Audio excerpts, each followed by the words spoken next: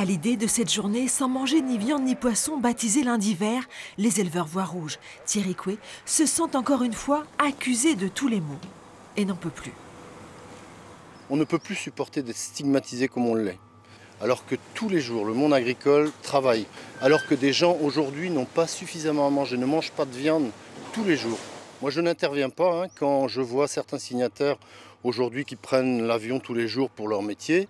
Ça ne me gêne pas, sauf qu'ils ne devraient pas donner des leçons aux, autres et surtout à nous, monde agricole aujourd'hui, qui travaillons 7 jours sur 7 pour un métier noble qui est celui de nourrir les gens.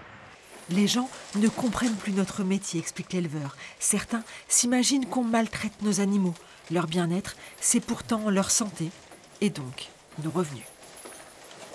Ils ne sont pas malheureux, mais ils sont là, ils s'amusent, euh, ils mangent, ils boivent, ils dorment, euh, ils sont à la chaleur. Euh, donc, qu'est-ce qu'on peut de mieux? Aujourd'hui, moi, j'aimerais bien que tout le monde hein, bénéficie de mêmes conditions que mes animaux. Thierry Coué dénonce les raccourcis du lundi vert. Oui, il faut de l'eau, des céréales pour nourrir les animaux qui nourriront les hommes. Mais ces cultures, dit-il, sont nos paysages et font vivre des gens. L'agriculture et l'agroalimentaire emploient 130 000 personnes en Bretagne. Un éleveur de porc, par exemple, fait travailler 7 personnes autour de lui. Euh, c'est des emplois en abattoir, c'est des emplois en salaison, c'est des emplois dans le commerce.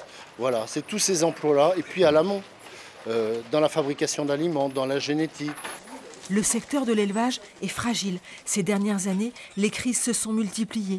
À un lundi sans viande, les éleveurs préféreraient un lundi sans haine, où les uns et les autres essayent de s'entendre et de se comprendre.